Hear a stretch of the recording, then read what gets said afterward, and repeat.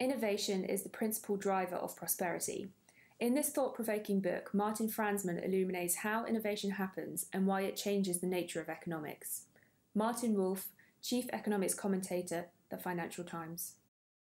My name is Martin Fransman, and I'm Professor Emeritus of Economics at the University of Edinburgh. The title of my book is Innovation Ecosystems Increasing Competitiveness.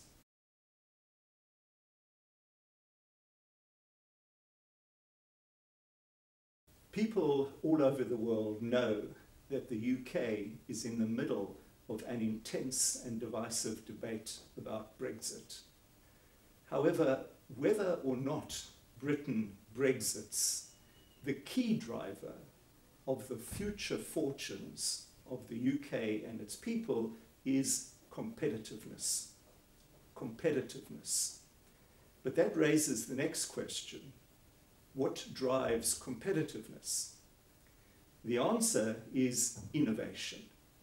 Innovation drives competitiveness, and therefore, innovation is crucial for both companies and countries. The title of my book is Innovation Ecosystems Increasing Competitiveness. My book answers two key questions. The first question is how does innovation happen? In other words, what needs to be done in order to make innovation happen? The second question is who makes innovation happen? In particular, is the entrepreneur becoming obsolete? My book explores the idea that innovation is the result of a system of causes. The system is the innovation ecosystem. Innovation ecosystems may be defined as that set of players and processes who jointly make innovation happen.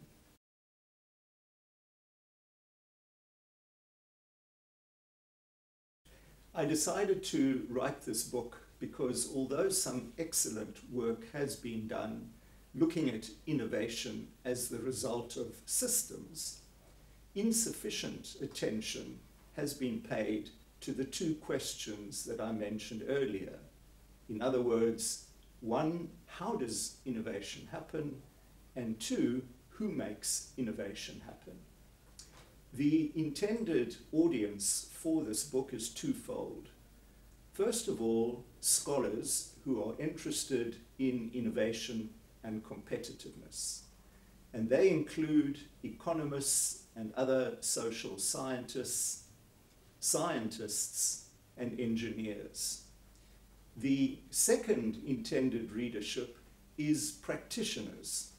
In other words, people whose job it is to make innovation happen.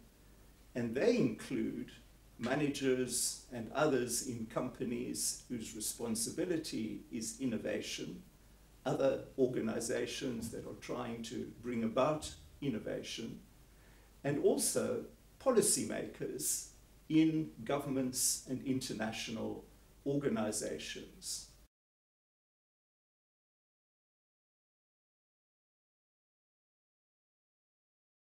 As an academic who has worked all over the world for many years trying to explain the performance of companies and countries, as someone who has advised many companies and countries, and come to the conclusion that innovation is the key driver, I wanted to share some of my thoughts and insights with a wider audience. My hope is that my book will be found to be both interesting and also useful to this readership.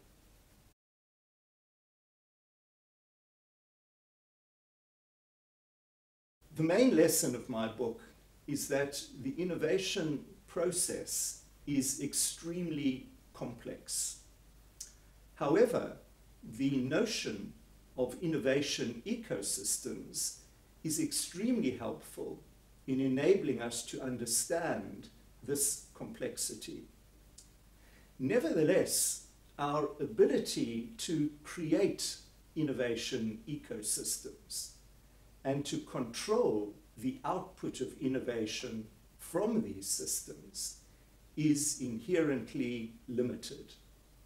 And this means that uncertainty, frustrated expectations, mistakes, and errors are also essentially a part of the innovation process.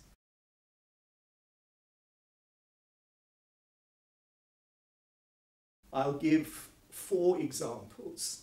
The first is how do companies like Amazon, Apple, Facebook, Google, telecoms companies like British Telecom and AT&T, companies such as Huawei and Ericsson, how do they all interact with one another in the ICT innovation ecosystem?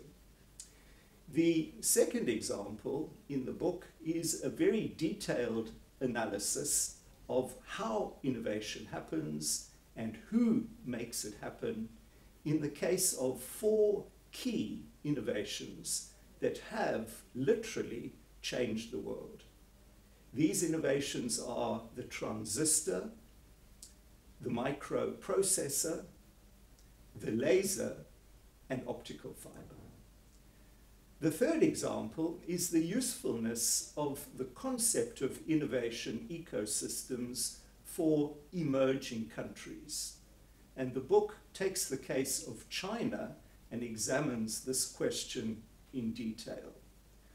The fourth example is the study of the causes of the telecoms boom and bust 1996 to 2003, which had significant implications for the Great Recession that followed after 2007.